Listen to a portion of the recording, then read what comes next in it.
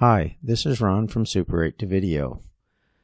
To use this video, all you have to do is, is hit your space bar on your keyboard to stop the video. If you want to start the video back up, just hit the space bar again.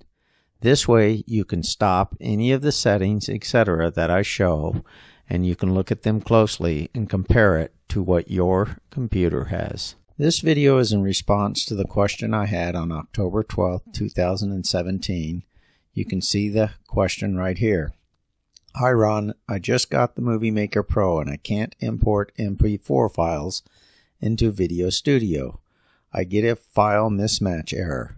I have never had this error, so I really don't know the answer. However, I am going to go through a couple of settings and show you what I have while it's working. First, I'm going to open up the properties to a file that's working.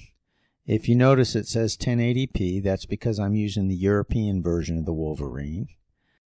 And I'm clicking on each thing. If you want to stop and look at it, all you have to do is hit your spacebar and it'll stop the YouTube video to where you can look at specific things that I'm hitting.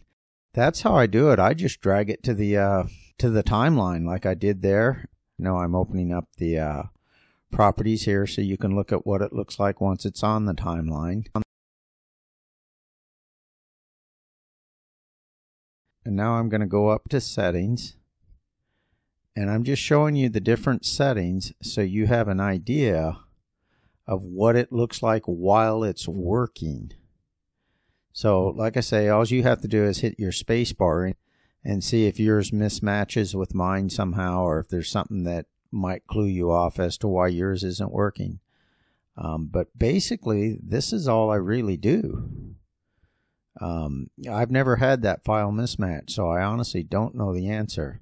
But I thought by doing this, it might help you or somebody else that wonders that is having trouble what settings and stuff I have at least while things are working basically, um, that's it. So this is Ron from Super 8 to Video signing off.